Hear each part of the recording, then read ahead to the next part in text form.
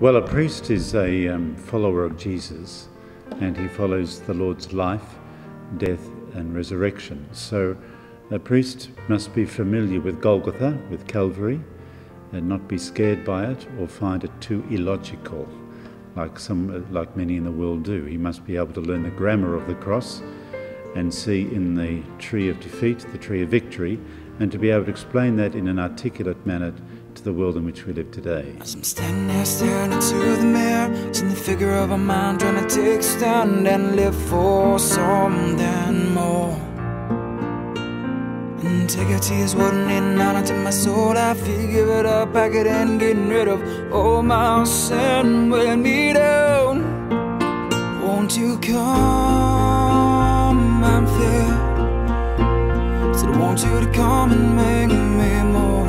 Prayer is the main way that we hear the voice of God speaking to us. So it's important for men who are thinking of a vocation to spend time in silent prayer, certainly, but time in all sorts of different prayers. But the, sil the silence of prayer is, is very important because that's when God speaks to us.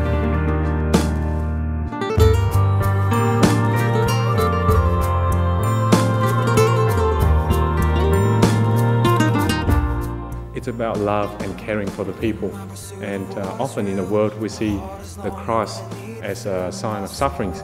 But for us, with our faith, we see the cross as a sign of love, of serving others. Trudging a step through the height and the depth of a long narrow road as I'm growing old and soon I will be home.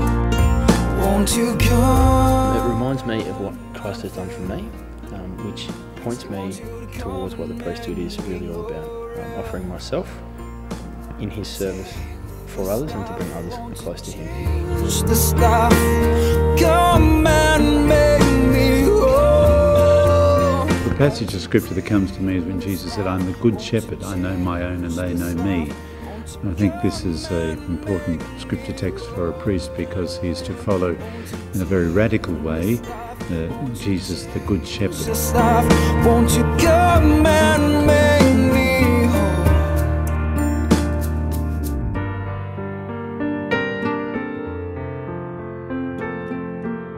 My advice to anybody considering a priestly vocation is to become comfortable with silence because the mother tongue of God is silence and uh, God whispers in the heart, the human heart, a vocation and it's discerned in silence and through the through the church. So I would say practice silence, pray particularly in adoration in front of the Eucharist, in front of the presence of the Lord in the Blessed Sacrament, uh, both within the Mass and outside the Mass. Wavering is your voice. Unwavering is your hand. Unwavering is The thing that would come to me straight away would be to get to know other young men that are thinking of the priesthood. The fraternity that comes from going on a, con- a journey with other people who are thinking of the same things is enormously helpful. the fount of salvation on which we will stand.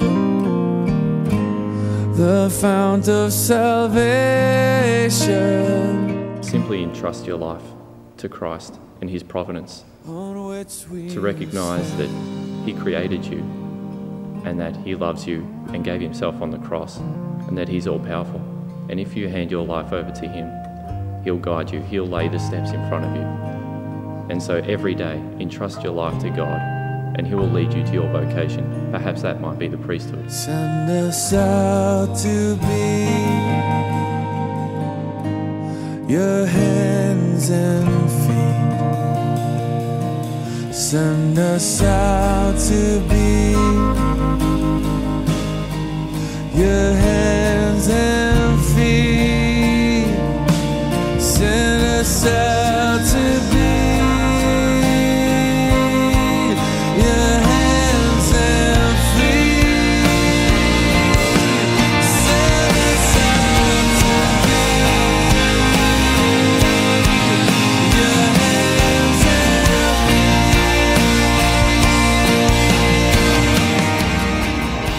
know, they said, if you never, never go, You will never, never know. So, to all the young men, why don't you give it a go?